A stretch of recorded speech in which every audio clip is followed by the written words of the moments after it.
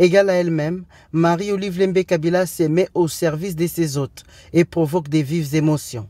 Les frères Patrice Ngoyi Moussoko se retrouvent à la place du fils devant la première dame dans son rôle de mère qui lui offre tout le service.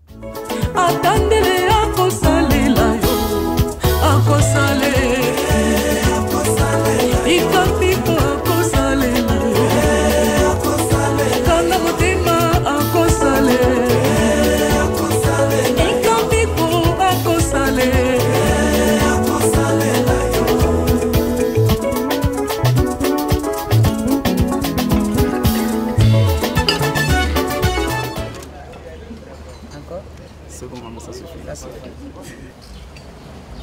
Je te prends un peu les mangues. Parce que ce qu'on pourra faire, Oui, on va les mettre, euh, Ah. on va couper et mettre dedans. Merci, maman.